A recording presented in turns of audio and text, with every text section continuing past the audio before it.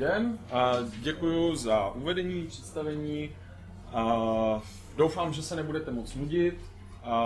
Kdybyste nudili, tak se radši běžte podívat do krmítka nebo někam prostě na kafe. Mně to vadit nebude.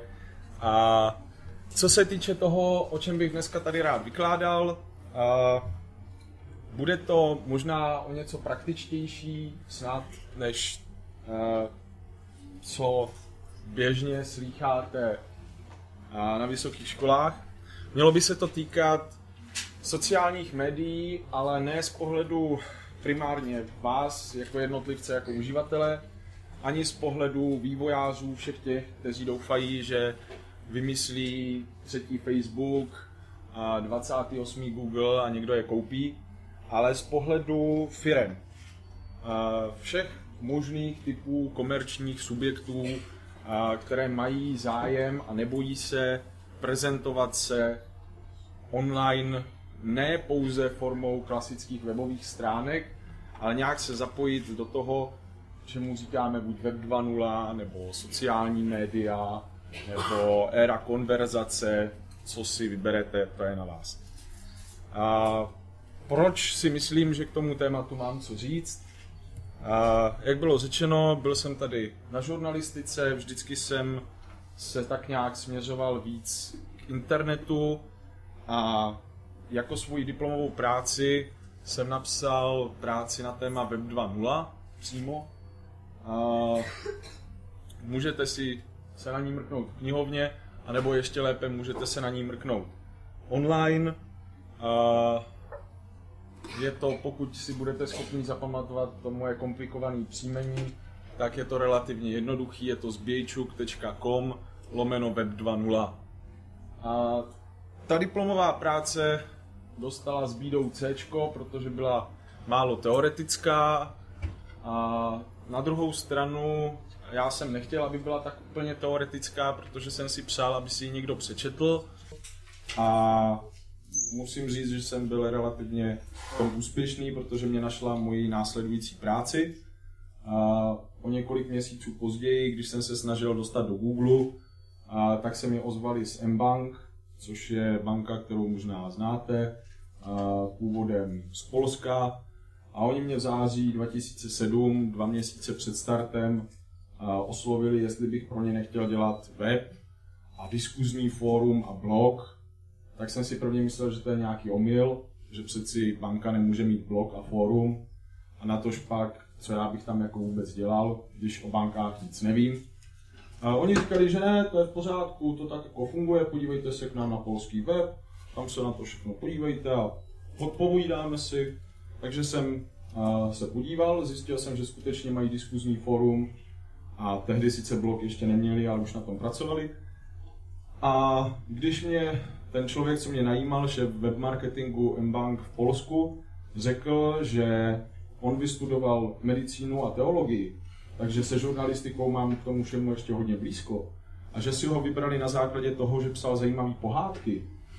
Tak jsem pochopil, že to je skutečně nějaký jiný druh komunikace od firmy, než co jsem si myslel, že je možný a normální, na tož pak v bankovním sektoru. Za ty dva měsíce jsem se musel naučit všechno o bankovních produktech, bance a tak dál, což bylo docela náročný, ale nějak se nějakým způsobem se nám to povedlo. A taky jsme rozjeli ještě dopředu před spuštěním banky jako takové diskuzní fórum a blog a začali jsme psát všude na všechny možné další servery, Finexpert, Měšec, kdekoliv byly nějaký uh, příspěvky o tom, že má se tady objevit nějaká nová banka, tak jsme se s těma lidma začali bavit, začali jsme si jich ptát, co od toho čekají, začali jsme vyvracet některé naděje radši dopředu, aby potom nebyli ty lidi zklamaný. No a povedlo se nám na tom fóru udělat skutečně relativně žijící komunitu, která ještě s puštěním se začala velmi, velmi zvětšovat. A bylo to jako jedna, jedna velká jízda, která pro mě trvala dva roky. Mělo to spoustu příjemných a, a ještě mnoho, možná mnohem víc nepříjemných momentů. A, takže mám nějaký dva roky praxe tady z téhle pozice.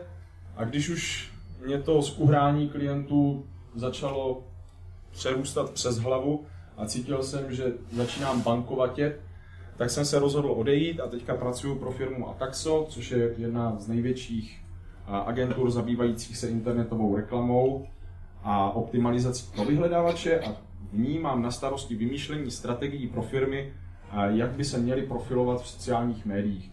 Takže to, co vám tady budu vykládat, jsou kombinace vlastních zkušeností, vlastních plánů a nějakých pozorování, který jsem poslední dobou zažil v terénu. Problém se mnou je ten, že jsem velmi špatný na přípravu prezentací. Takže já mám prezentace dvě, z nich ani jedna není aktuální, a pak tady je super poznámky, které jsou aktuální zcela, a těch se budu držet. Nicméně, abyste neměli dojem, že jste o něco ochuzený, tak vám tady budu k tomu ukazovat prezentaci, která je taky zajímavá, ale ne úplně přesně týkající se toho, o čem budu mluvit.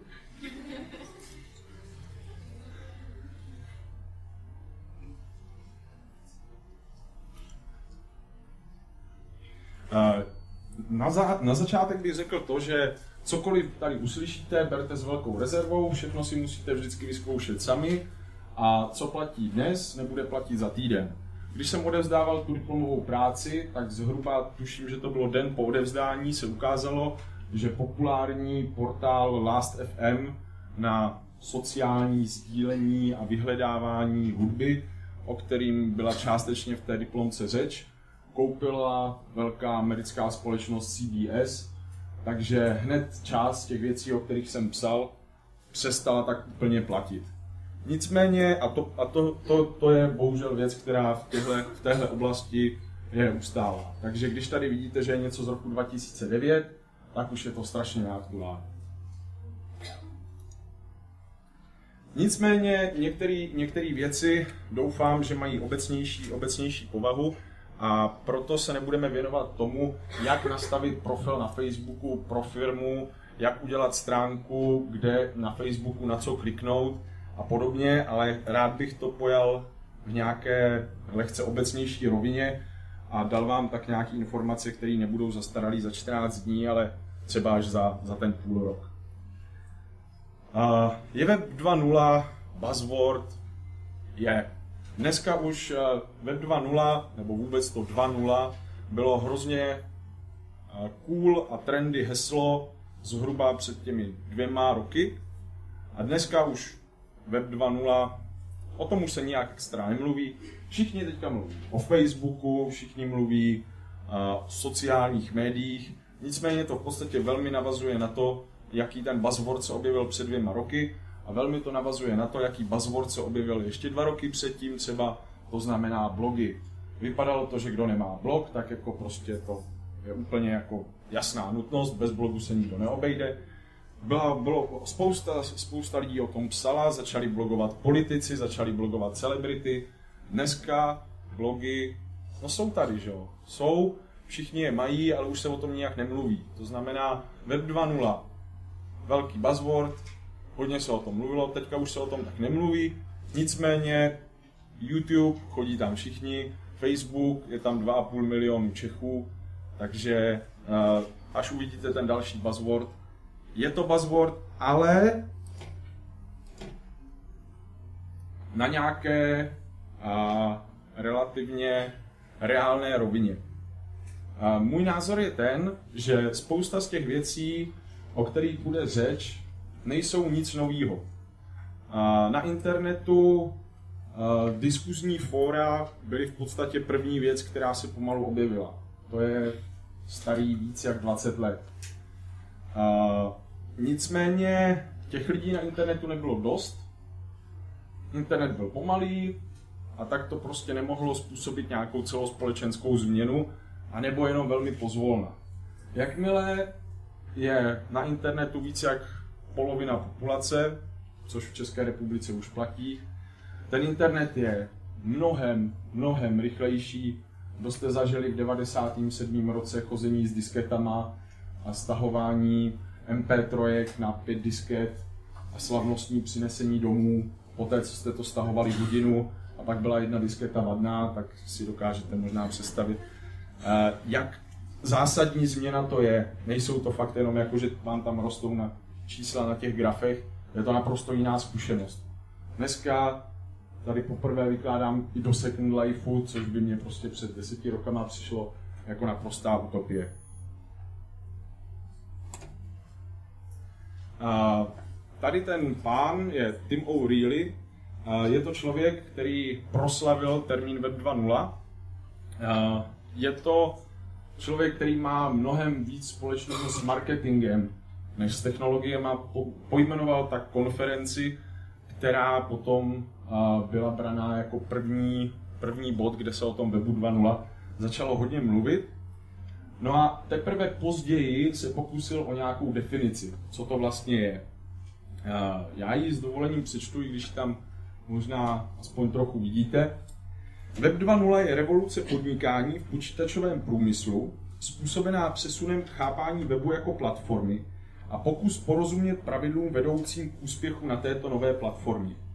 Klíčovým mezi těmito pravidly je toto. Tvořte aplikace, které budou díky síťovému efektu s přibývajícím počtem uživatelů stále lepší. Vidíte, že to nemá žádnou extra technologickou podstatu. A naopak je to v podstatě marketingová záležitost. Mluví se tady o nějakém podnikání, mluví se tady o nějakém pokusu porozumět logice fungování věcí v tom novém prostředí, který přichází. Vemte si, že nej, nejideálnější cílová skupina pro zadavatele reklamy, kam patříte ve směs i vy, tráví čím dál tím méně času u televize a naopak čím dál tím víc je na internetu. Zároveň ovšem platí, že existuje něco, čemu se říká banerová slepota. To znamená, že na klasickou reklamu vám klikne málo kdo. Všichni už mají ve Firefoxu adblock, aby ty reklamy pro jistotu vůbec neviděli. Takže tradiční cesta pro firmy, která byla, tady máme nějaký výrobek a teď je o to narvat do lidí prostě jakýmkoliv možným nemožným způsobem sdělení o tom, že tady je a že si ho musí koupit, už tak úplně nefunguje. Protože lidi uh, už si nenechávají tak jednoduše říct, co mají dělat, v tom smyslu, že ten model komunikace one-to-many, klasické reklamy, se mění na nějakou konverzaci many-to-many, ve které mnohem větší váhu než sdělení nějaké společnosti a mají sdělení lidí, kterým vy důvěřujete. Ať už jsou to vaši přátelé, spolužáci, příbuzní, nebo opinion lídři v daných, třeba i velmi specifických oblastech, a kterým důvěřujete. A já tady ještě překliknu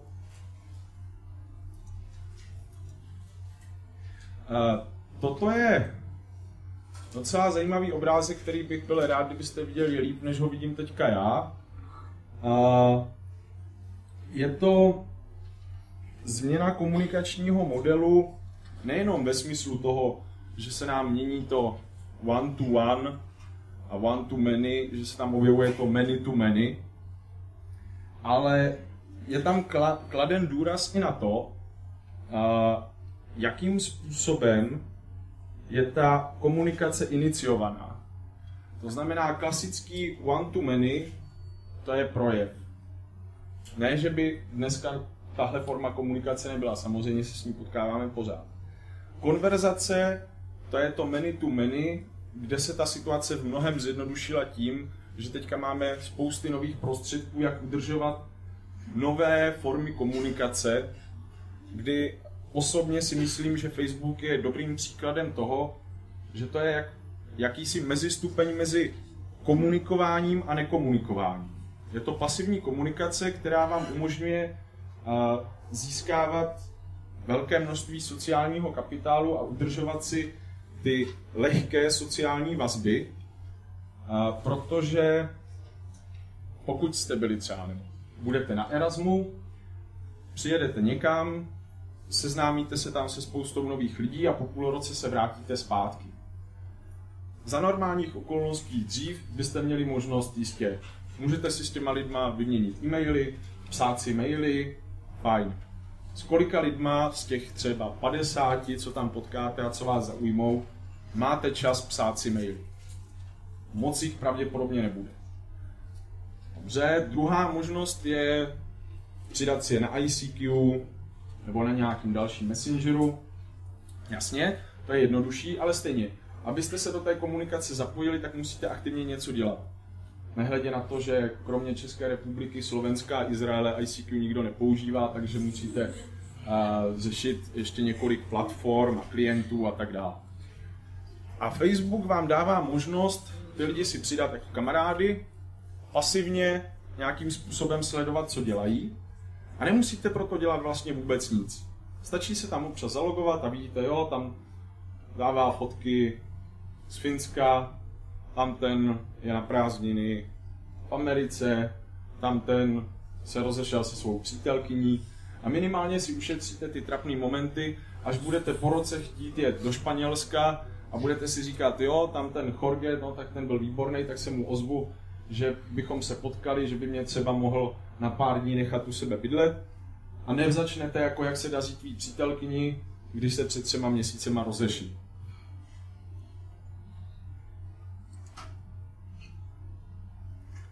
A druhý, druhý obrázek je barevnější, tak bude možná líp vidět.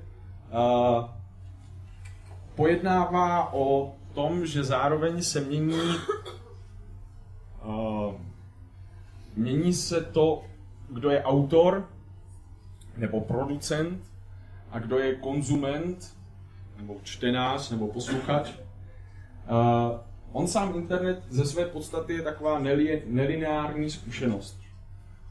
Sice můžete dojít až na tu stránku konec internetu, ale už sám způsob, kterým tam dojdete, je po každé jiný. Nikdo, nikdo z nás nemá stejný internet. Mladou frontu, když si koupíte, tak mladá fronta bude vždycky stejná, ale internet dnes je do značné míry, každý to vidí jinak. Spousta lidí žije třeba v domění, že to, jak fungují na Facebooku oni, no tak fungují na Facebooku i všichni ostatní. Není nic vzdálenějšího od pravdy. Každý má naprosto svůj styl, jakým to využívá a to znamená, že pokud se vám zdá, jakože co může kdo vidět na nějakým Farmville a Mafia Wars a to je přeci úplná blbost a to, to nikdo nepotřebuje. Jasně, on to možná nikdo nepotřebuje, ale přes 100 milionů lidí to hraje. Takže eh, to, že vy to nehrajete a připadá vám to jako nesmysl, například neznamená, že to není výborný business model. Eh, taky ty firmy, eh, některý z nich, které dělají hry, se prodali po dvou letech fungování za 100 miliony dolarů. Stejně tak je dobrý si uvědomovat, že tohle platí i, i v mnohem obecnějším měřítku, nejenom na tom Facebooku. Každý si vytváříme jakýsi svůj vlastní internet, v jehož rámci se pohybujeme a vytváříme si tam nějaký ten pocit toho vlastního ontologického bezpečí, že to je to, co známe. A spousta lidí mimo ten svůj internet vlastně ani nechodí.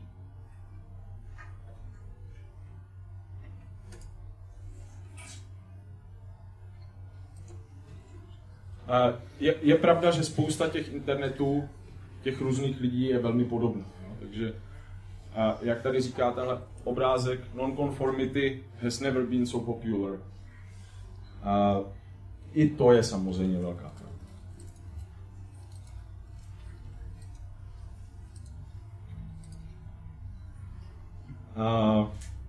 A teď k tomu, jak to, jak to mění fungování společností.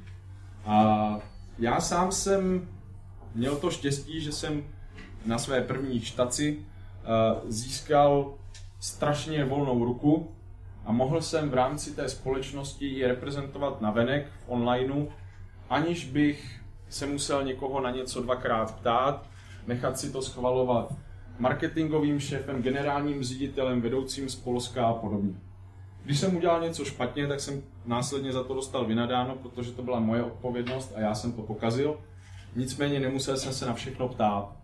Když jsem nastoupil do mBank, tak tam zároveň, těsně přede mnou, nastoupila tisková mluvčí a tam mě hned na začátku řekla, že bude chtít eh, kontrolovat po stránce gramatiky moje příspěvky na fóru.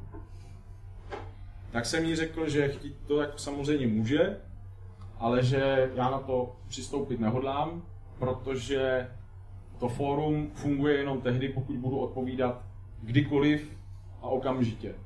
Takže nebylo nic divného, když jsem tam psal o půlnoci, a nebylo nic divného, když jsem tam psal o víkendech a nenechával jsem si to nikým kontrolovat. S tím, že jsem mi taky řekl, že teda ona navíc není moje nadřízená a že já jí tiskové zprávy taky kontrolovat nebudu. No a skončila ta paní v mBank ještě před spuštěním, protože celkově ten model nebyla úplně schopná pochopit a přišlo jí, že je to takový bordel, že teda v takové firmě nemůže přeci vůbec pracovat.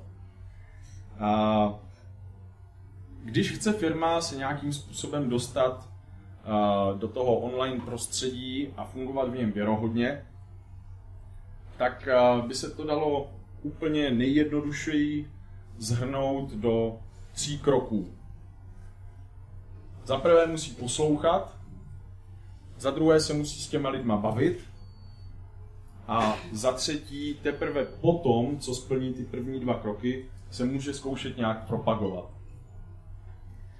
A teď těm svým potenciálním klientům, kteří se ptají na to, no, náš šéf četl v Mladé frontě jako ten Facebook, že už ho mají 2 miliony lidí a že každá firma by tam měla mít nějakou tu stránku nebo profil nebo co, tak my bychom to taky chtěli, jo, protože jako my na tom marketingu nikdo Facebook nemáme, ale jako když to říkají všichni, že tam jako musíme být, tak tam teda jako taky budeme. A chce mít teda, když naše konkurence má 100 fanoušků, tak to je hodně špatný, že? Hmm. Tak my bychom chtěli aspoň 500 fanoušků, jo? Můžete nám to zařídit? A to je bohužel stav marketingových oddělení v celé řadě firm, nejen v České republice. A je to zásadní nepochopení toho, čemu to je. Agentura vám samozřejmě může nastavit nějakou stránku, založit, udělat, ale pokud vy jako ta firma nebudete mít člověka, který tam sám bude fungovat, tak to ve většině případů nemůže dopadnout dobře. Ta agentura nic neví o tom, co ta firma reálně dělá, s jakýma se potýká problémama, co její zákazníky nejvíc štve. Všechny tyhle věci jsou nutné vědět k tomu, aby ten člověk v těch sociálních médiích mohl nějakým způsobem fungovat. Mě v mBank nadávali úplně za všechno. Za to, že jsme snížili úrokovou sazbu, za to, že někdo nedostal hypotéku, za to, že se někomu nepovedlo zaplatit kartou někde v Kazachstánu. Prostě všechny ty věci byly moje chyba a já jsem musel ve všech případech zjistit, či je to teda chyba, dotyčné osobě to přeposlat, získat z ní nějaký vyjádření zpátky, což je obvykle ta nejtěžší část, a odprezentovat ho nějakým způsobem tomu stěžovateli tak, aby se cítil, že jeho problém nebyl zameten pod koberec, a to i pokud byl. A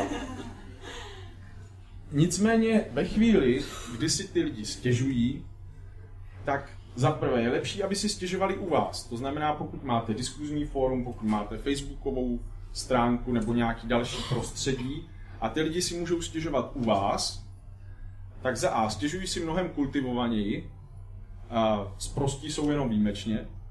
Za B aspoň víte o tom, že si stěžují a můžete s tím něco dělat. A za C, když se vám to povede vyřešit, nebo aspoň zbudit dostatečně důrazné zdání, že jste to řešili, tak se velmi často může povést tu negativní zkušenost prvotní přetavit do nějaké pozitivní zkušenosti. Já tady, Franta Vomáčka z Horní Dolní, něco mě nefungovalo, já jsem jim napsal, oni to spravili. Nebo já jsem chtěl, aby tam ten čudlík byl někde jinde a oni to fakt udělali a já už tam teďka mám ten čudlík, to je úplně super. A když je do toho zapojený nejenom jeden člověk, a já měl to štěstí, že měl kolegy, kteří mě s tím pomáhali, aniž by to byla pevná součást jejich pracovní náplně, a to včetně generálního ředitele, tak to je ještě lepší. Pokud vám na váš problém s hypotékou odpoví šéf oddělení zodpovídajícího za hypotéky, tak je to ještě o level lepší, než když vám to odpoví nějaký jiný bankovní bloger, který tomu určitě stejně nerozumí. Nerozumí. A, a když vám napíše generální ředitel na fóru, tak to je úplná pecka. To i největší stěžovatel obvykle se cvakne podpatky a super. Jako. A samozřejmě najdou se i tací, kteří pošlou do háje kompletně všechny, včetně managementu, generálního ředitele a nepomůže nic. Nicméně s tím je potřeba počítat a ti lidi, kdyby to fórum nebylo, tak stejně budou a budou se podobným způsobem projevovat, vyjadřovat kdekoliv jinde. Moje zkušenost je ta, že naopak pokud dáte lidem prostor stěžovat si u vás, tak si toho vesmě zváží a naopak vás, i když si na vás stěžují u vás, tak vás potom hájí jinde.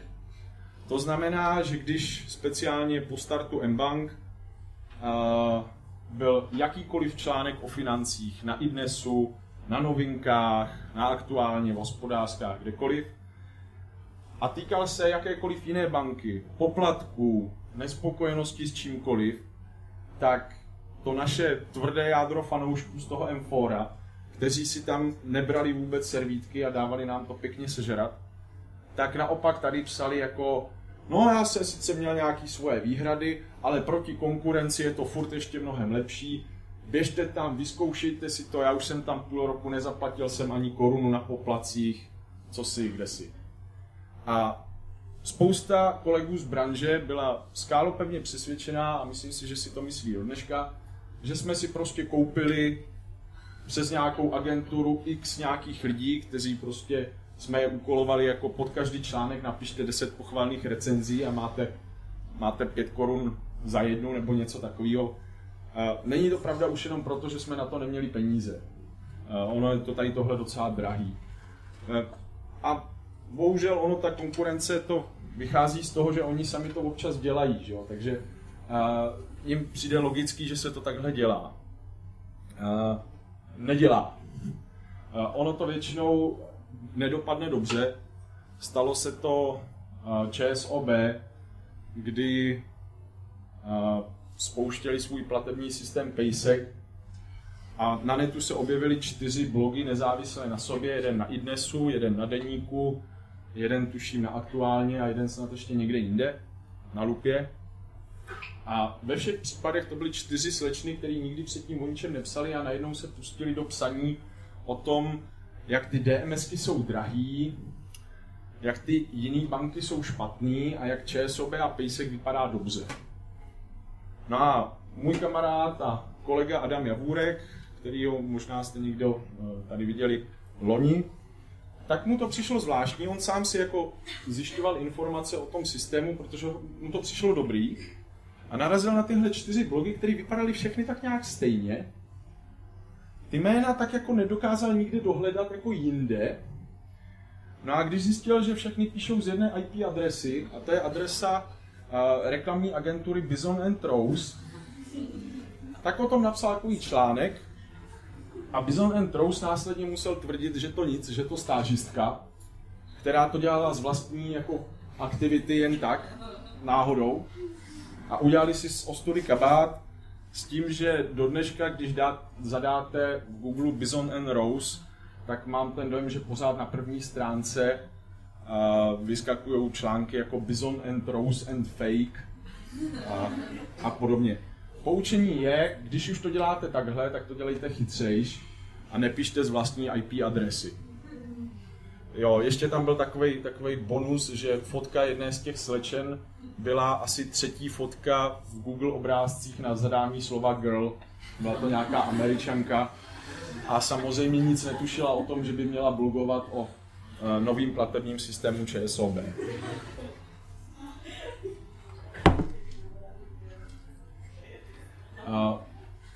ten návrat, návrat jako kdyby k, k reálným konverzacím, mně to, mně to často přijde, že to je podobný, uh, nikdo, nikdo nemá rád nadnárodní korporace, nikdo a priori nemá rád tiskové zprávy a nechce je číst, nikdo jim nevěří. Všichni si myslí, že PR manažeři jsou od toho, aby lhali, a, a přitom to není nutně vždycky pravda. Já znám některý PR manažery, který skoro víc říkají pravdu, než lžou. A, a tohle, je, tohle je přesně ten přístup, který v těch sociálních médiích nefunguje. To znamená, člověk zastupující tu firmu by si měl spíš jako sám sebe představit, že je v situaci toho drobního živnostníka, který má krámek, pekárnu, kavárnu nebo něco takového někde na ulici a potkává se s těma lidma, co mu tam chodí okolo. A že jo, taky jim nebude dávat tiskový zprávy a nebude se s nima bavit jako PR manažer.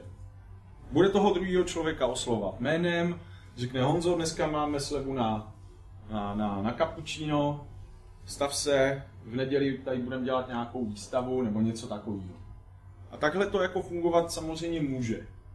A problém většiny firm je ten, že na to vůbec nejsou schopní přistoupit z hlediska vnitřních procesů, protože jim to přijde, že to, to je hrozně riskantní, to si nemůžeme dovolit.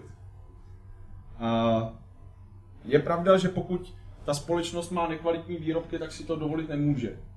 Stejně tak, kdybyste měli tu kavárnu, tak neřeknete tomu Honzovi jako jo, tak Honzo, tak pojď tady na kapučíno, když budete vědět, že to kapučíno prostě je jakási nechutná věc, co jste tam udělali co nejlevnější a na tom kapučínu vám vůbec nezáleželo. Pokud máte špatné výrobky, špatné služby, špatné produkty, tak vám ani nejlepší social marketing guru nikdy nepomůže. Já osobně uh, si myslím, že třeba největší výzva aktuálně na tomhle poli je od listopadu neobsazená pozice social, social media manager, nebo jak se to jmenuje pro O2, a mě to nabízeli už dva různí headhunci a říkal jsem jim, že děkuju, že nejsem sebevrah. A komu se to povede povede se mu dobře fungovat jako social media manažer pro O2, tak to prostě, tak to podle mě může jenom Chuck Norris. Jako. A na druhou stranu je pravda, že kdyby se to někomu povedlo, tak si tak jako zlepší reputaci, že už může dělat úplně cokoliv následně by mohli tak možná do Česu nebo dělat, dělat PR paroubkou. A ne, že by to nešlo. Jo. Třeba v Microsoftu, který není, řekněme, firmou, která by byla všemi nějak extrémně oblíbená, to riskli.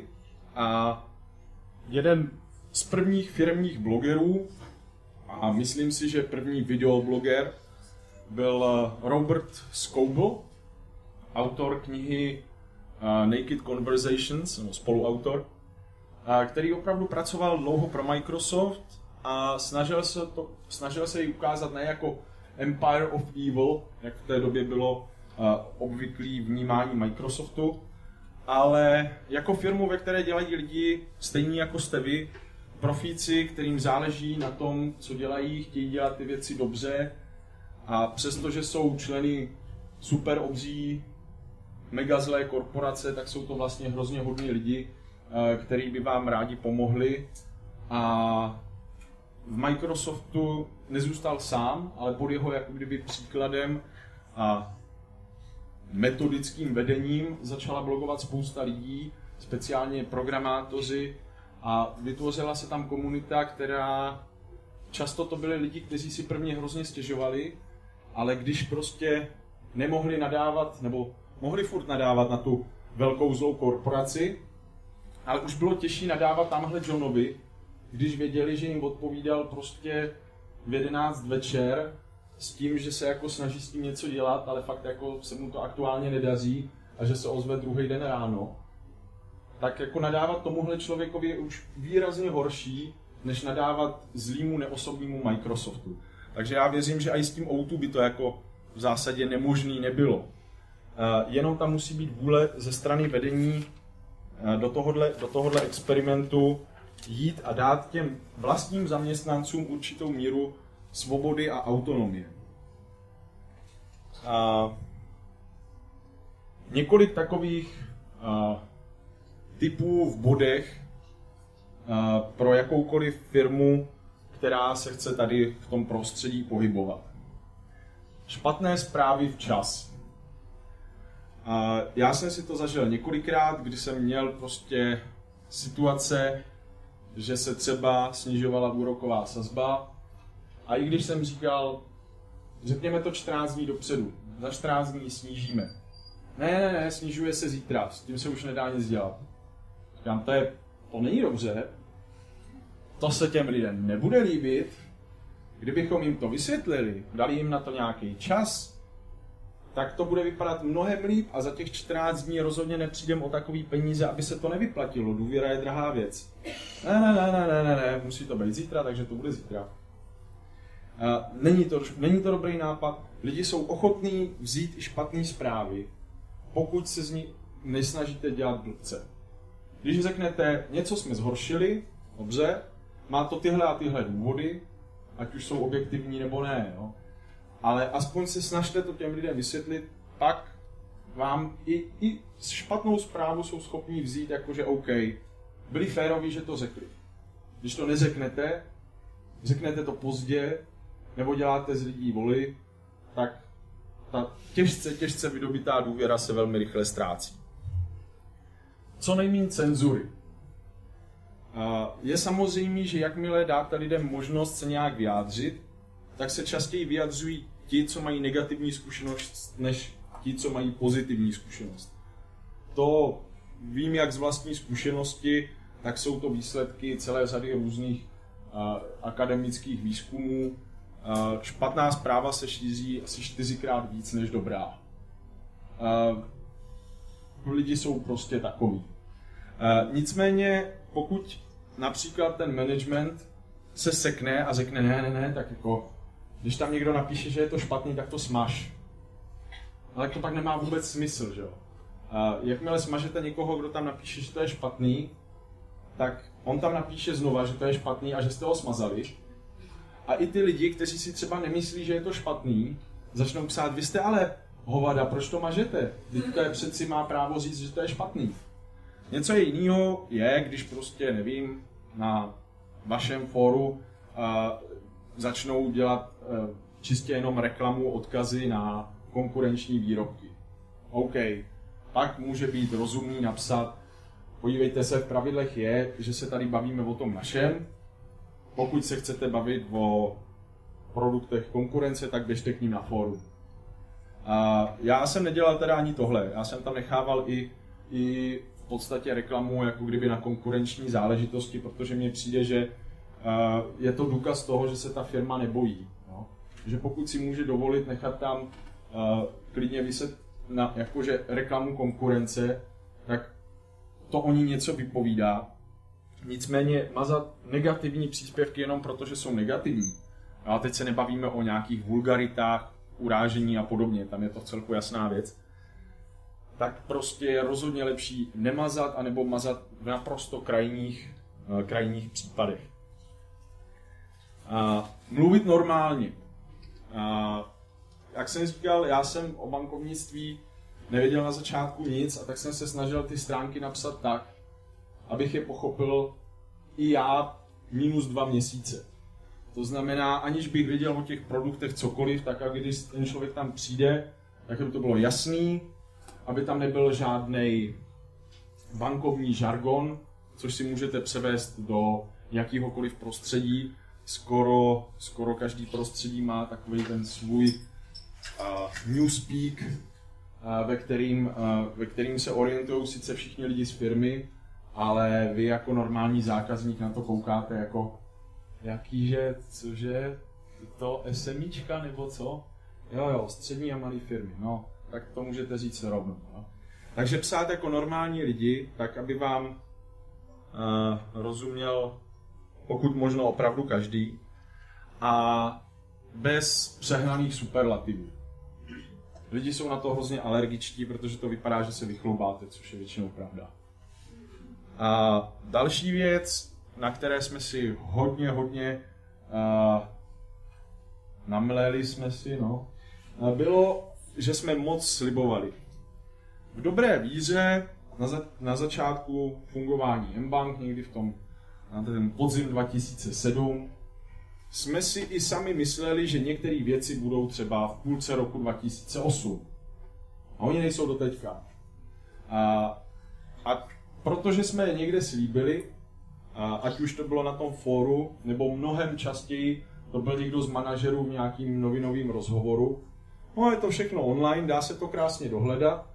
Takže a, naši fanoušci udělali stránku msliby, na které jsou je no, docela solidní archiv všech možných slibů, který kdokoliv, kdykoliv z mBank dal a přesně počet dnů, kdy to jako není splněný.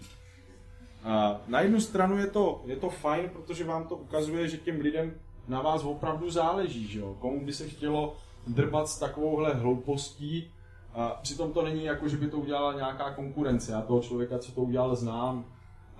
Je to prostě fanoušek, který ho jenom mrzí, že teda jsme ty sliby nesplnili a tak udělal tuhle stránku, aby nám to připomínal a abychom je postupně plnili.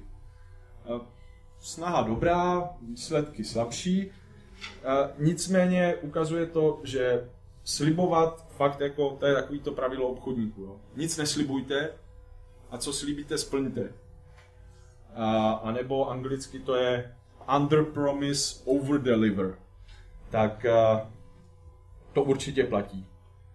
A, jedna poznámka k managementu. Většina, většina vyššího managementu je velmi často nakloněná věřit konspiračním teoriím, o tom, že všechny negativní reakce kdekoliv jsou dílem zlé konkurence, jejich PR agentur a podobně. Pravda je to tak v jednom procentu případů, možná ani to ne. A, a je to jenom ne, ne, neschopnost nebo neochota uznat si, že existují zákazníci, kteří s vaším produktem nemusí být spokojeni.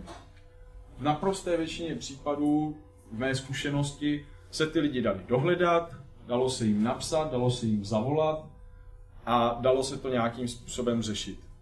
Ne vždycky se to dalo vyřešit, protože často to byly prostě věci, které eh, objektivně se nedali kvůli tomu jednomu člověkovi měnit nebo zlepšit.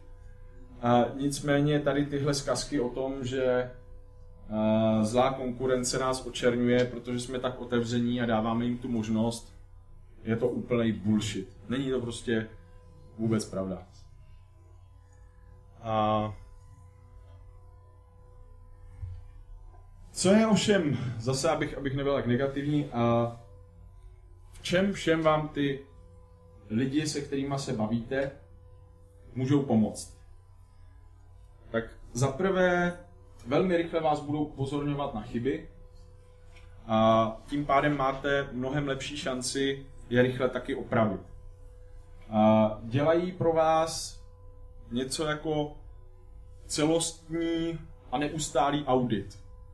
Jo, třeba v té bance se xkrát stalo, že nám lidi de facto nabunzovali chyby našich pracovníků v pobočkové síti. Ten tam na tom kiosku svačil, tamhle ten žvejkal, tamhle ten nic nevěděl o ničem, Tamhle ten mě tvrdil, že pro aktivaci účtu je potřeba vložit tam 1500 korun a na Emlince mě řekli, že ne. A tak se třeba, tak se třeba ukázalo, že určitá část těch obchodníků, kteří dostávali provize jen v případě, že ty lidi si tam opravdu převedli peníze, tak schválně těm lidem prostě vykládali, že si tam musí převést peníze, jinak ten účet nebude aktivní, i když to nebyla pravda, jenom aby měli všechny ty provize. Dostali samozřejmě padáka. A a bez toho fóra bychom se to dost možná nikdy nedozvěděli. A rozhodně ne tak rychle. ty lidi vám taky dají spousty a spousty a spousty nápadů, co by se dalo udělat líp a jinak. A já osobně jsem svým způsobem trošku překvapený tím, že pokud vím, tak ostatní banky, a to právě jako se vracím trošku k těm konspiracím, si toho Emfora vůbec nevšímají. A přitom, kdyby na to použili jakýkoliv rozumný data mining, tak z toho můžou udělat profil ideální banky, která jako bude ještě 25krát lepší než mBank, protože ty lidi tam dali takové množství nápadů, podnětů, inspirací, že ta banka samotná to absolutně není schopná všechno zpracovávat, i kdyby třeba jako hrozně chtěla a všechny ty věci by se realizovaly, tak ono je taky všichni chtějí hned maximálně v horizontu dvou měsíců. No. Zatímco programování bankovních systémů tak úplně nefunguje tímhle způsobem. A, ale co se, co se jako kdyby produktové nabídky týče třeba, tak a, to M-Forum dneska je místo na českém internetu, který nemá obdoby. Tam je prostě nejvíc přání, co lidi by chtěli od své ideální banky, co se dá kde najít. Kdyby kterákoliv z jiných bank jenom reálně vzala to, co tam lidi psali, s čím jsou spokojení, co jim chybí, co by ještě chtěli, a prostě to udělali, tak věřím, že mají relativně, relativně vyhráno. Můžete si tam dělat fokus skupiny za výrazně levnější peníze, než když to zadáte nějaké agentuře. Můžete tak právě dělat jako kdyby tu kontrolu vlastních lidí a mystery shopping. No a primárně získáváte jako kdyby tím, že se ty lidi nějakým způsobem identifikují s tou značkou, tak získáváte obrovské množství neplaceného PR, který si nemůžete normálně koupit. Na každém tom idnesu novinkách si můžete koupit ty banery, ale to mám mBank půl roku a jsem s tím naprosto spokojený, to si koupit nemůžete. Respektive, dobře, můžete, ale vyšlo by vás to výrazně dráž, než když to, když to prostě opravdu jako kdyby ty lidi tam budou sami psát. Další věc, kterou to má jako kdyby zajímavý efekt je ten, dovnitř firmy. Já jsem se zažil, moc, moc krát jsem zažil to, že sami lidi, kteří pracovali v mBank, využívali to fórum jako docela důležitý zdroj informací, protože tam často byly vysvětlené případy, které se nevejdou do těch vnitrofiremních prezentací, které někdo rozešle, ale tady se vyskytovaly ty skutečné špeky, ty záhadné situace, kdy něco nějak nefungovalo a pak se ukázalo, aha, jemu to internetové bankovnictví nefungovalo, protože měl ve Firefoxu nějaký doplněk a zrovna s tím doplňkem se to prostě seká a musí si ho dělat. No, a to není věc, která by se vám dostala do nějakého prodejního manuálu. Ale takhle se ty lidi mohli v případě, že jako jim tam někdo přišel, aspoň zkusit podívat na to fórum a třeba mu byli tím pádem schopni pomoct. A co si myslím, že možná mnohdy ještě důležitější pro firmy, nebo mohlo by být důležitější pro firmy. A, a v, v návaznosti na ty sociální média je nemyslet nad tím jako nad prodejním, marketingovým, případně testovacím kanálem a ven vůči svým zákazníkům, ale aby na něj mysleli i ve smyslu jejich využití dovnitř firmy. Čím větší firmu máte, dost možná se s tím řada z vás setkala, tím víc tím častěji se může stát, že vázne komunikace uvnitř té firmy. Moc oddělení, informace se posílají tuhle oběžníkem, tuhle na nějakým sdíleným disku je něco, tamhle je něco v intranetu, nějaký směrnice a teďka se v tom nikdo nevyzná. A blogy, wiki systémy a, a podobné věci jsou ideálním místem, kde můžete překonávat nějakou zavedenou hierarchii té firmy. Jo? Snižováním nebo snižováním počtu těch levelů a struktur dáváte možnost zapojit se do nějakého kreativního procesu i lidem, kteří buď nejsou na té pozici, kde by si to za A mohli dovolit, nebo jo, neví, že by to vůbec jako po nich mohl někdo chtít a přitom můžou mít spoustu dobrých nápadů. Takže dát zaměstnancům možnost fungovat nějakým způsobem i dovnitř té firmy a může být často velká, velká výhra. A z řady důvodů. Jo. Ať už jsou to nápady, které si tím pádem můžou realizovat, nápady, které by nikdy nevznikly, kdyby se nesetkali lidi z oddělených, různých oddělení, jejichž práce na sebe sice navazuje, ale oni se v reálu nepotkávají, tak tady jim dáte šanci vytvořit si ad hoc týmy k nějaké věci, k řešení nějakého problému a můžou je řešit mnohem efektivněji. A plus právě jako kdyby to trochu rozmělnění té hierarchické struktury má motivující důsledky na ty samotné zaměstnance. Protože pokud e, jste úplně na tom nejnižším levelu, ale máte nějaký dobrý nápad a potom ho ta vaše firma skutečně implementuje a vy za to třeba dostanete nějaký prémie, ale i když je nedostanete a dostanete jenom ten street credit, jakože to byl váš nápad, tak už se na to hnedka budete dívat jinak.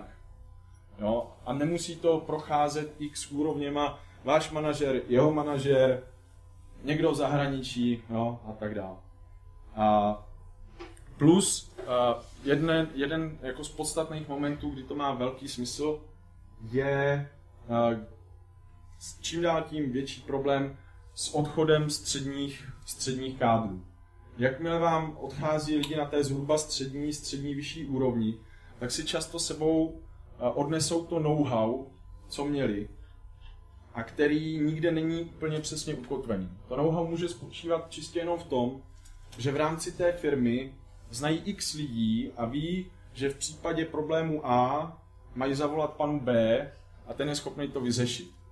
A není to na to žádná podniková směrnice, ale je to kvůli tomu, že s panem B chodí vždycky na cigáro jako ven před, před barák a bavili se o tom a nějakým způsobem se na to domluvili.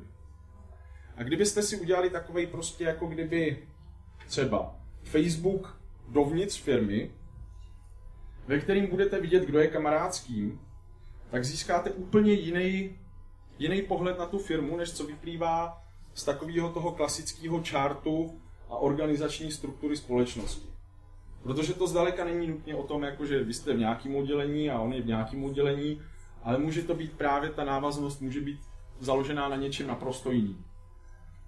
A lidi to většinou baví. Když jim, tu, když jim tu možnost dáte se na tom nějakým způsobem podílet, tak budou z mé zkušenosti vím docela rádi. Samozřejmě, když to neuděláte špatně, nějakým befelem, jako musíš teďka, tamhle píš nějaký blog, ne, to moc nefunguje. Ale když to uděláte vtipně a zároveň do toho přidáte, a taky tady můžou, můžete si stavět týmy, co budou hrát volejbal, a pak se to bude někde ukazovat, jakože kdo vyhrál a tak, tak ty šance jsou uh, výrazně, výrazně větší. Uh, jak jsem na tom s časem? Ještě dobře, že? To je super. A, tak já, já tady zase oživím ten počítač.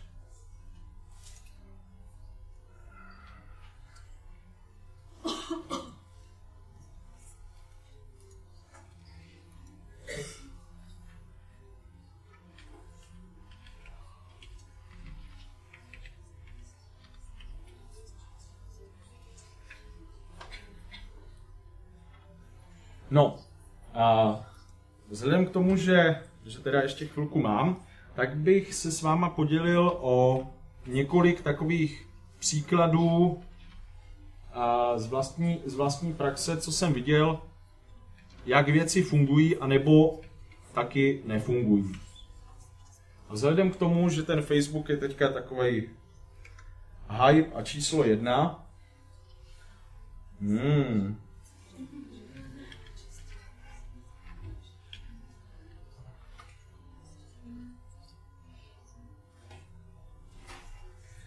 tak vám, tak vám ukážu pár facebookových příkladů.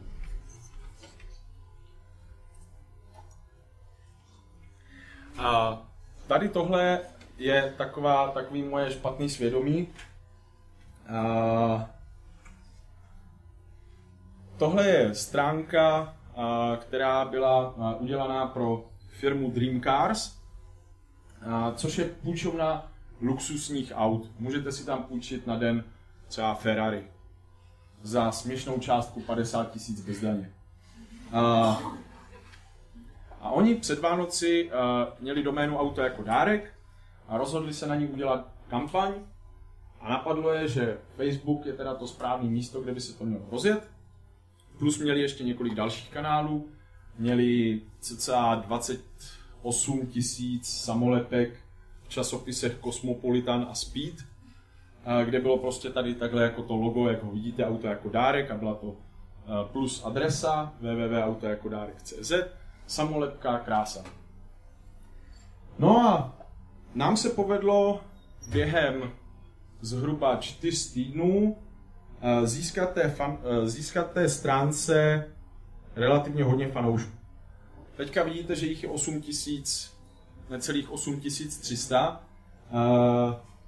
Té, řekněme, na kolem Mikuláše už jich bylo zhruba 6000. A, takže obrovský úspěch, všichni jsme měli hroznou radost, jak je to fajn, jak tam ty lidi přibývají, že všichni chtějí mít auto jako dárek a tak. A pak jsme zjistili, že jako, jako je to super, máme 8000 fanoušků, ale pro kliku z té facebookové stránky na samotný web www.autojakodárek.cz, kde se měly objednávat ty auta, bylo tak tisíc na 6 tisíc fanoušků. Návštěv samotné stránky jako autodárek zdaleka nebylo ani těch 6 tisíc, a jako té facebookové, a hlavně objednávek těch aut bylo přesně nula. Takže to byl velký, velký úspěch Facebooku a velký neúspěch auta jako dárek. A my jsme se tak spoustu věcí naučili. Každopádně největší, největší věc z toho byla ta, že pokud si myslíte, že číslo fanoušků je jakkoliv relevantní metrika, která vám k něčemu bude, tak na to rovnou zapomeňte. To číslo nemá žádnou vypovídací hodnotu. Uh, ba dokonce to číslo může být uh, ve finále problém. Uh, a to proto, že jak asi víte, tak na Facebooku, na té hlavní vaší stránce, máte ty novinky, které vám tam furt přibývají a přibývají. A máte je rozdělený na dvě části. Já nevím, jak se to jmenuje v češtině, protože Facebook používám furt v angličtině. Nejsa se schopen smířit s tím překladem. E, nicméně tam je to jako top news a most recent. E, to znamená, jedno jsou ty důležitý a druhý je teda to, to všechno. A aby uh, se něco zobrazovalo v těch důležitých, tak to záleží primárně na tom, jestli jste s daným člověkem nebo stránkou hodně v kontaktu. To znamená, když si navzájem píšete, dáváte si líbí se mi a tak dál, tak je mnohem větší šance, že se vám bude zobrazovat v těch top news. A za druhé to záleží na tom, jaký je, jaký je tady tohle čísílko. Tady vidíte teďka dole, že tam je 0,3 post quality to není moc, to je popravdě řečeno docela málo.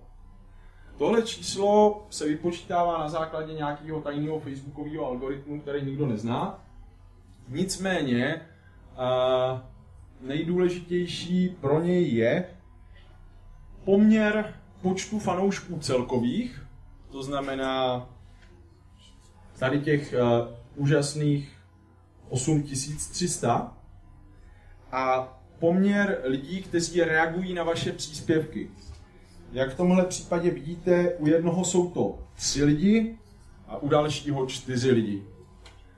Čím míň těch lidí aktivně reagujících je, tím menší je post quality a tím pravděpodobnější je, že se to těm lidem nezobrazí v těch top news, ale jenom v tom most recent, na který se často nikdo nedívá. Takže mít strašně moc fanoušků vám může de facto uškodit, pokud nejste tak dobří, aby se s váma fakt hodně bavili. A to už je mnohem těžší, než je tam získat. Protože, jak se ukázalo, tak strašně moc lidí si přidává fanouškovství stránek tím způsobem, že vůbec nepřemýšlí nad tím, co na té stránce je. A jestli se tam vůbec podívají nebo nepodívají. Stačí, aby viděli, deset mých přátel se stalo fanouškem uh, Nemám rád chleba se sádlem, staň se také fanouškem. Lup, všichni tam klikají bez hlavě, staň se také fanouškem, ale už se vůbec nepodívají na stránku Nemám rád chleba se sádlem, kde by třeba zjistili, že tam není vůbec nic o chlebu se sádlem, ale je tam napsané něco ale úplně jiného. Když se teďka můj kamarád stal z přesvědčení fanouškem stránky Nevolím TOP 09, tak jsem mu říkal, díval ses jako dovnitř? Díval ses na tu stránku? Říká, ne.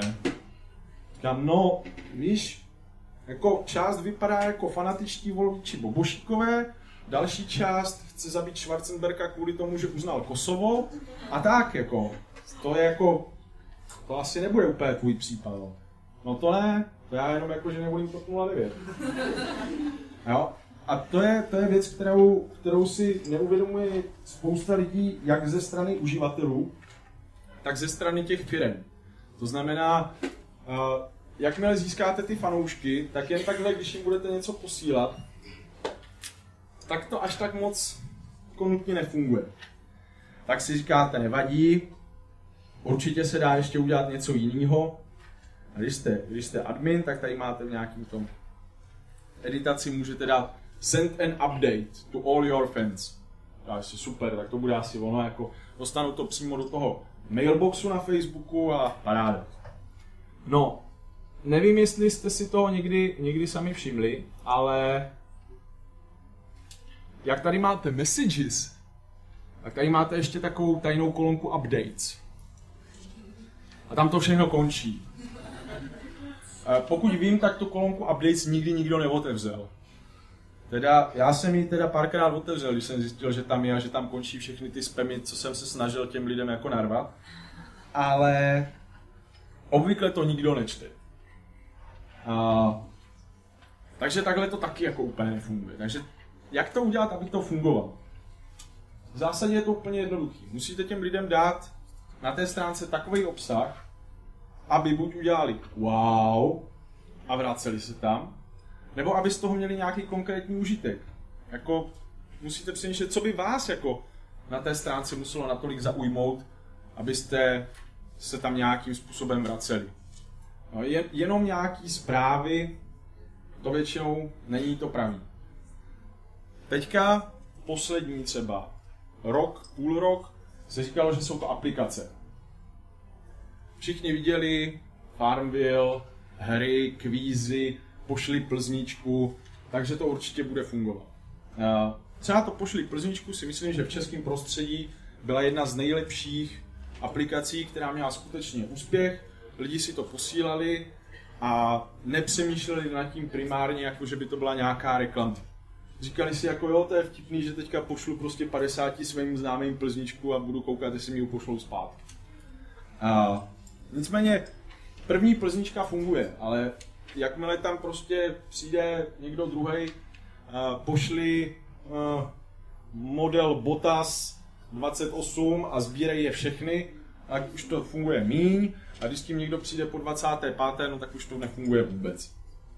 A, takže já si myslím, že i do budoucna prostě bude platit, že aby ta stránka byla úspěšná, tak musíte splňovat celou, celou řadu věcí. Uh, jeden můj oblíbený příklad je uh, pardon, kolega a konkurent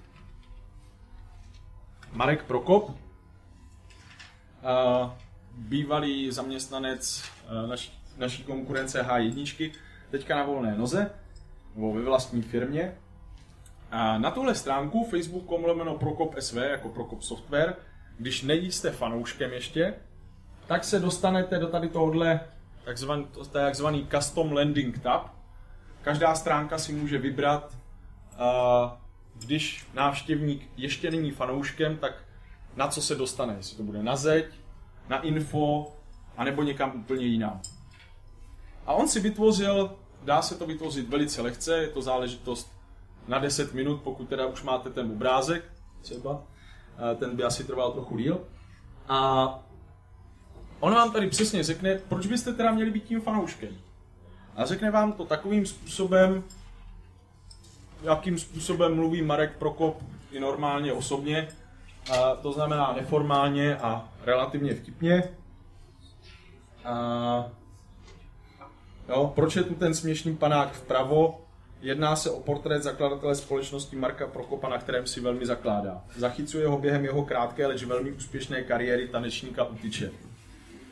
A úplně dole máte, mně se to stále nějak nezdá, nic si z toho nedělejte, nám taky ne. Je to prostě skutečnost. Takže je to nějaký příjemný, neformální pokec, ve kterým ovšem zároveň vidíte, že tam máte pozvánky, odkazy, slevy. To znamená reální výhody, které si řeknete OK, to mě za to stojí, odkliknete, chci být fanouškem. Uh, poslední dobou právě tady ty custom landing uh, tabs jsou docela oblíbený. Ono mělo to i to auto jako dárek, kde když tam na začátku byla jako hlavní věc soutěž, tak vás to, pokud jste nebyli fanouškama, hodilo prvně na tu stránku té soutěže. A tak dobře, tak už, už jste teda fanouškem, co dál? Nutný je mít takovou, takovou aplikaci a takový takový obsah, uh, aby to pro ty lidi dávalo smysl.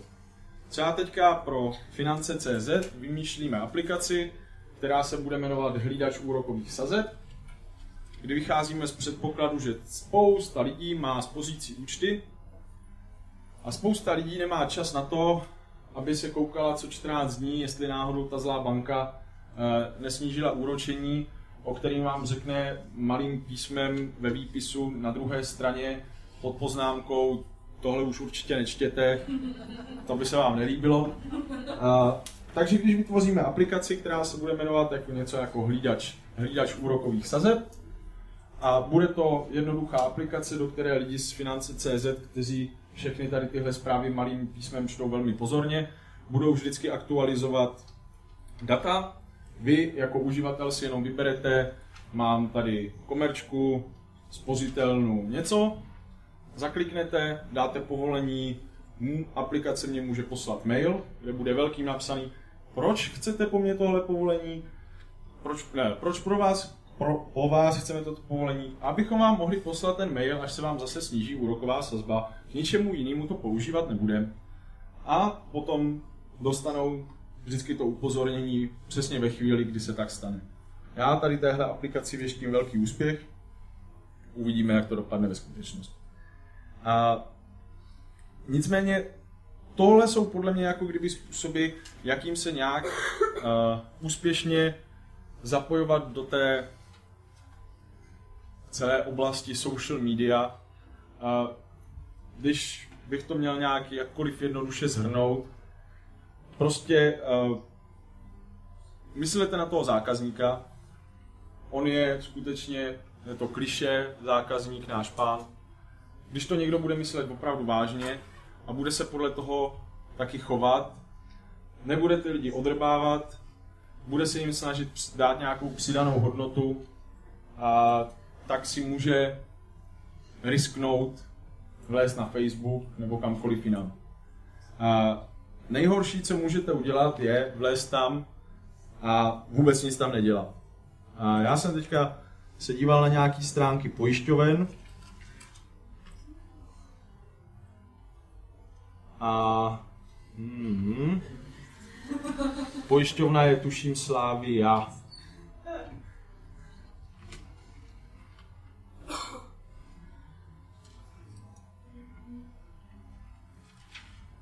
Mají hezký banner, to jim je nutno uznat. Jo. A nicméně takhle to vypadá, když si z toho uděláte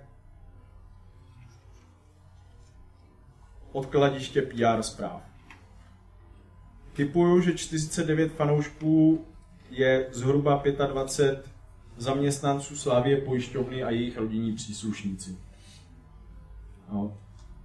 Podle mě to je jako, není to ještě nejhorší příklad, dala by se najít spousta horších, ale takhle ne. Naopak jsou, jsou osoby například a osobnosti, a o jejichž o nich si můžu já myslet úplně cokoliv, ale na Facebooku to fakt umí. Jestli chcete vidět opravdu dobře zvládnutý osobní promo v českých podmínkách, tak se podívejte na osobní profil Zdeníka Škromacha. Nekecám, jako je to fakt machr a ten způsob, jakým se tam s těma lidma baví, je vynikající. Ten člověk opravdu ví, co dělá. Asi jeho zkušenosti z odboru eh, v tomhle případě nejsou úplně k zahození, protože je schopný komunikovat eh, s odpůrcema, s příznivcema, reaguje včas, fotí si novináře z druhé strany na těch tiskovkách a háže to k sobě na Facebook, komentuje tam dění ve sněmovně, dělá si tam srandu z ostatních poslanců. Občas jako mu ne, nemá problém jako občas střelit nějakou takovou štiplavou hlášku do vlastních řad. Prostě vypadá jako naprosto reálný člověk a je vidět, že to nepíše jeho asistentka. Že to píše fakt on sám. Jako já jsem se o tom bavil i s lidmi, co prostě jsou novináři a, a do toho parlamentu chodí a oni ho fakt v tomhle ohledu nesnáší. Protože ví, že když oni řeknou něco, tak on to tam taky může napsat. Že, že už to není jenom naopak, ale že tak nějakým způsobem, jako kdyby se jim, se jim jako může vysmát na vlastním, na vlastním písečku. A to je, to je jako, jakkoliv mě ten člověk nemusí být osobně sympatický, tak v tomhle, v tomhle ohledu uh, celá řada lidí, který, u kterých bych čekal mnohem větší, jako kdyby otevřenost a angažovanost do směru nových médií, tak se mají co učit od tohohle starého odborářského bose.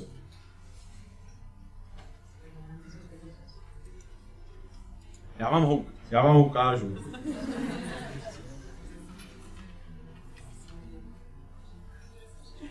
A mimo, mimochodem máme 10 společných přátel, což mě jako svým způsobem děsí.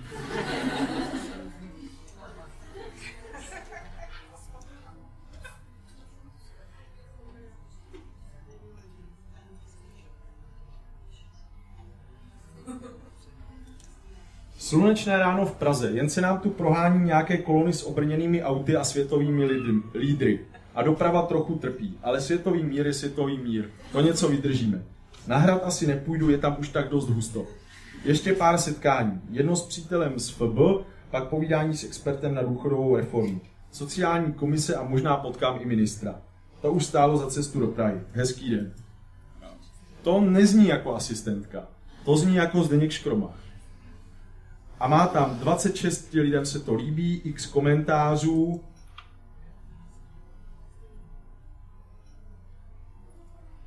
Odpověděl mi? Neodpověděl. No, dobře. Zdeněk Škromach v Pálenici.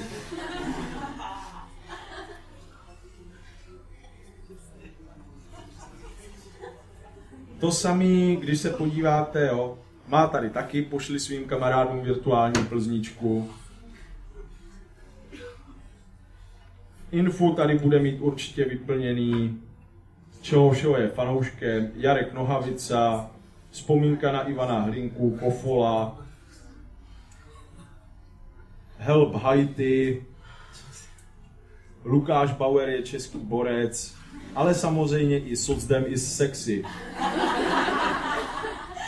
A, takže toto, toto je podle mě jako jeden, jeden, jeden jako kdyby z mála českých příkladů, kdy jako politik pochopil, jak ten Facebook reálně funguje. Že to že to je prostě zrovna, zrovna člověk, do kterého by to většina neřekla, to je druhá věc. My jsme ho teďka ukazovali lídrům strany zelených, aby se, aby se učili, jako, protože ne, Zdeněk ví a zná. Ondřej Jeliška sice taky ví a zná, ale trochu to tam ještě skřípe.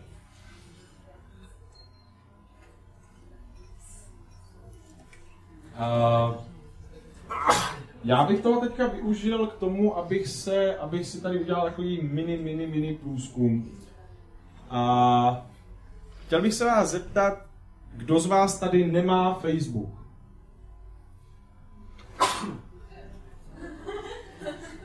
Ta strana je jako facebookovatější, koukám. No tak to je docela překvapivě dost lidí, já jsem myslel, že to bude mít. Uh,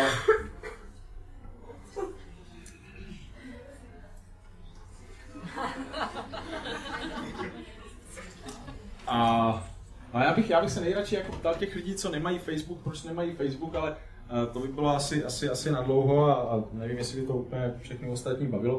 Uh, já, si, já si osobně myslím, že uh, když se tady potkáme třeba za půl roku, tak vás půlka těch, co měla teďka ruku nahoře, už ji nahoře mít nebude. Ale třeba, třeba taky ne. No. A jedno takové upozornění teďka už úplně mimo firmy, jenom pro vás. A já si tady dovolím udělat promo svým kolegům a kamarádům. Facebook už jako nemusíte nějak studovat moc online vůbec, jako už to vyšlo i na papíru. A, takže já jako, jako nějaký poradenství jsem si říkal, že už ani dělat nebudu, že, že si nakoupím 500 kusů tady tohohle a vždycky to budu jenom tak dávat. A, udělal to Computer Press, pracovali na tom lidi i a, tady z FSS, několik studentů, nebo bývalých studentů, teď si nejsem už úplně jistý. A, není to vůbec špatný. Na to, na to, že to stojí 40 korun, tak se tam tak krom toho, jakože, že vám tam poradí, jak hrát Farmville a Mafia Wars, uh, tak tam najdete i velmi užitečné informace, třeba co se týče uh, bezpečnosti a nastavení si nějakých uh, nastavení si toho účtu tak, aby vám to pomohlo. Uh, tak když mám ještě tu chviličku, tak bych tady pár těch, pár těch triků vám tady doporučil. Uh, Speciálně věc, na kterou je velmi, velmi dobře si dávat pozor, je tady tohle. Privacy. Control what information you share. A určitě jste se už setkali s tím, že jste se mohli někde dozvědět o tom, že někoho vyhodili z práce, protože šéfovi napsal, že je mu hrozně špatně a na Facebook napsal, hurá, mám volno, jde se kalit. Já mám to štěstí nebo smůlu, že znám podle mě první jako českou oběť, která byla vyhozená z práce kvůli Facebooku a svýmu blogu. Po deset, oni ho teda nevyhodili, ale po deseti letech musel odejít sám bez nároku na odstupný, což byla docela pruda. A to se stalo tak, že přišel za šéfem svého šéfa a ten tam měl už jenom takový vytisknutý kusy toho Facebooku a blogu a růžově potrhaný ty nejzásadnější záležitosti, ve kterých si, řekněme, neúplně vybíravým způsobem stěžoval na některé kolegy. A psal o tom, jako, že vzhledem k tomu, že v té práci stejně není do čeho píchnout, tak bude ještě upravovat dvě hodinky fotky a pak půjde do. A podobně. A jak tomu zabránit? Že? A naprosto jednoduše. Na Facebooku máte jednu, jednak tady tuhle stránku, na které si vyberete co všechno o vás má být vidět a komu. Máte tam volby všichni, přátelé, přátel, jenom přátelé a upravit dál. Všechny přátelé si můžete dávat do takzvaných friends list, seznamů. To je velice, velice dobrá věc, můžu jenom doporučit. Uděláte si jeden, který se bude jmenovat spolužáci, jiný třeba rodina, jiný kolegové, Každá osoba může být na více seznamech současně, takže to jako problém není. No a potom si můžete nastavit, že třeba fotky a videa, na kterých mě někdo oteguje, tak vidí tady skupina crew, taková moje interní skupina, která mě zná už natolik dlouho, že se neleknou, ani když tam uvidí fakt rostodivné věci. A vzhledem k tomu, že tam někdo teďka dával fotky z maškarního plesu FSS v roce 2003, o kterých jsem nevěděl, že existují. A možná bych rád byl stále v té představě, že nevím, že existují. tak v tu chvíli jsem věděl, že tady tenhle seznam si určitě musím udělat. A fotky, na kterých mě někdo oteguje, budou vidět jenom tady těch 25 lidí na tom seznamu, nebo kolik jich tam mám. A ne těch všech 500 kontaktů, ve kterým jsou moji šéfové, moji obchodní partneři, a část rodiny a podobně. Takže tohle, tohle rozhodně doporučuju. To si, to si fakt jako tady tyhle věci nastavte. Uh, druhá věc, takový typ, teďka ne bezpečnosti, ale, ale může, se, může se hodit, protože mám za to, že se o tom všeobecně v podstatě neví. A když tady máte ty top news a most recent, tak se vám tam jako něco objevuje, ale občas se vám může stát, speciálně pokud máte těch přátel hodně, řekněme 250 a víc, že máte dojem, že se vám tam, i když dáte to most recent, čili všechny, všechno tam prostě není. Některý lidi něco dělají, vy si toho všimnete třeba až následně, že si třeba nahráli profilovou fotku, kterou předtím neměli, ale rozhodně si nepamatujete o tom, že by se tam někde objevilo, že si nahráli profilovou fotku. Je to proto, že se vám to tam prostě neobjevilo. A to kvůli tomu, že tady v Edit Options úplně dole na zdi máte počet přátel, jejichž příspěvky se vám budou zobrazovat. A ten je defaultně relativně malý. Nechtěl bych kecat, ale mám za to, že to je právě těch 250. A ostatní tam prostě nejsou. Není to jenom, ono tady to je jako number of friends, ale eh, to není popravdě řečeno úplně korektní. Je to počet přátel plus počet stránek, již jste fanouškem, který se vám taky zobrazují na té zdi. To znamená, že pokud máte 100 oblíbených stránek a 300 kamarádů, tak polovina těch informací, které byste jako měli vidět, tak neuvidíte. Protože tady máte moc malý číslo. Takže když si ho zvednete třeba na 1500, tak uh, by vám to mohlo, mohlo stačit. Plus samozřejmě si tady můžete dát i to, čí příspěvky na tvrdo chcete vidět vždycky a čí příspěvky naopak fakt ne.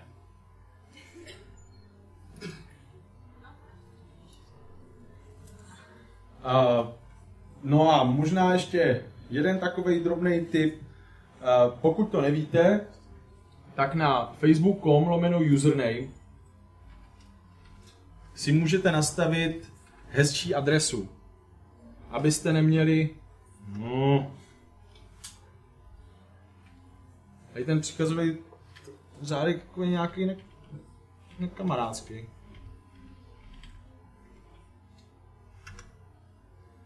A, jak vidíte, já mám facebook.com lomeno zbějčuk, vy si tam můžete dát, co vás napadne.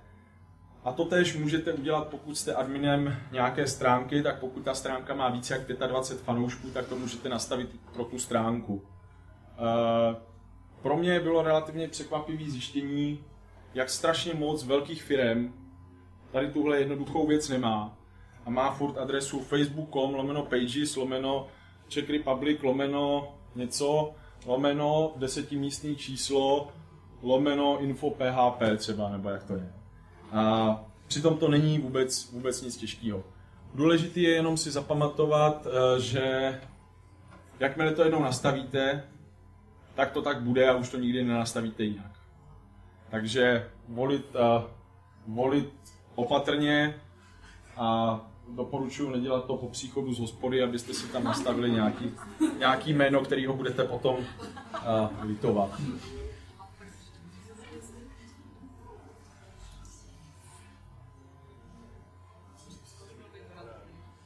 No a na závěr bych jenom řekl, že si myslím, že uh, fakt, je, fakt je úplně jedno, jestli, jestli je to Facebook, jestli je to MySpace, jestli je to cokoliv jiného. Uh, vaše nějaká vlastní online prezentace může být věc, která vám může výrazně pomoct. Uh, ať už je to ten Facebook, třeba z toho důvodu, jak jsem říkal, z toho důvodu udržování těch slabých sociálních vazeb, ať jsou to všechny možné další služby, LinkedIn na takový profesní Facebook, LinkedIn.com, kde si můžete udělat, vyplnit životopis, dát tam, jaký máte zkušenosti, lidi vás tam zase další, jako vaši známí, partneři, jak obchodní, můžou doporučit, že se s váma dobře pracovalo. Ať je to Delicious, delicious.com, služba na ukládání bookmarků. A znáte to určitě sami, ukládá si člověk, jako jaký stránky by chtěl si někdy přečíst a tak, anebo pak jako duma, kde byla ta super stránka, na kterou jsem se chtěl vrátit. Na Delicious si to uložíte, dáte si k tomu popisek, dáte si k tomu štítky alias tagy a já, když teďka uvažuji nad tím, jak je sakra ta stránka, na které se v Polsku vyhledávají vlaky, a jakože polský IDOS, tak si to nemusím pamatovat, nemusím to googlit, jdu na delicious.com lomeno zbějčuk lomeno Poland a tam vím, že to mám uložený a můžu se k tomu kdykoliv vrátit. Kdybyste chtěli nějaký, nějaký příklady těch služeb, tak pár jsem jich právě rozebíral v té diplomce. Aspoň se budete moct pobavit, jak je strašně neaktuální a zastaralá po dvou a půl letech. Nicméně ty hlavní služby, o nichž byla řeč, tam možná najdete. Je to tady Delicious, Last FM jako hudební. Jsou tam, jsou tam zmiňovaný ve všech případech i nějaký další služby příbuzný té hlavní, o níž je řeč. A, a to ve směs všechno jakž takž platí. Plus, když si dáte tady tohle, právě moje záložky na Delicious, který mají tag Web 2.0, tak je tam spousta a spousta odkazů. No, 176, to není zase taková spousta. A nicméně relativně dost, dost odkazů, které se týkají právě webu 2.0 a, speciálně za posledního půl roku webu 2.0 z hlediska firem. Takže spousta z toho, o čem jsem tady dneska mluvil, tady nějakým způsobem najdete. Když si dáte Delicious zbějčů klomeno Facebook, tak jsou to zase všelijaký typy a triky na Facebook a totéž na Delicious zbějčuk Twitter, tak tam je docela hodně, hodně odkazů primárně na zahraniční stránky, který vám poradí jak s Twitterem, na který se dneska nedostalo, třeba někdy příště. That's it.